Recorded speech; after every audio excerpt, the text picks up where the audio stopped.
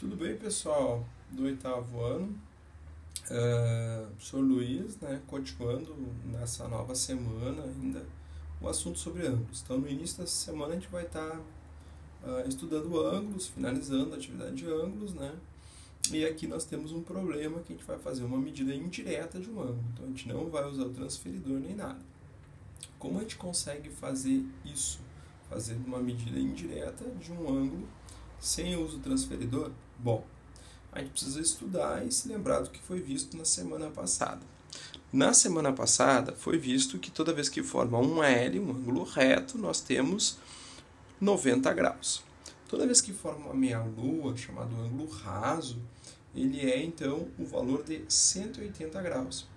Então, olhando para esse desenho, imediatamente a gente percebe que ele é dividido em algumas partes, mas que a soma dessas partes é igual a 180 graus.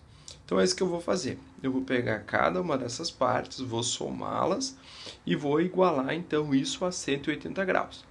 Por fim, vou isolar a incógnita x e então vou encontrar a resposta do ângulo que ali existe. Observe então a atividade que eu vou executar.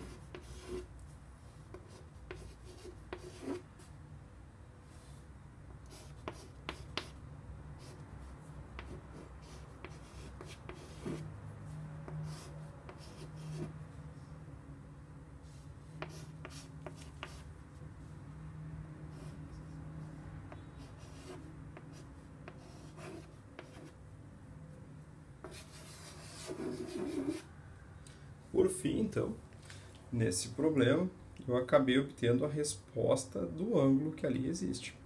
O ângulo é de 50 graus, certo?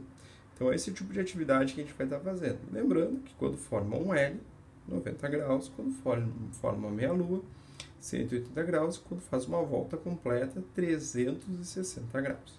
Certo, pessoal? Uma boa atividade. Qualquer coisa, entre pelos canais que a escola disponibiliza para que vocês tenham suas dúvidas certo? Um abraço a todos, fiquem com Deus.